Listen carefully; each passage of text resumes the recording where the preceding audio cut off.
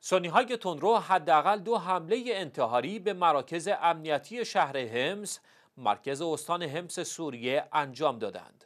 در پی حملات انتحاری سنی های تندرو به مراکز امنیتی شهر همز دست کم 50 تن جان خود را از دست دادند و 24 تن مجروح شدند.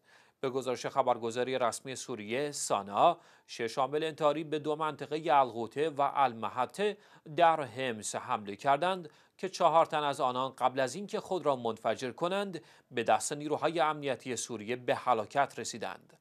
بر اساس این گزارش رئیس شعبه امنیت نظامی شهر همس و دو افسر عالی رتبه نیز در این عملیات تروریستی سنی های رو جان خود را از دست دادند و حال بسیاری از مجروحین نیز وخیم گزارش شده است.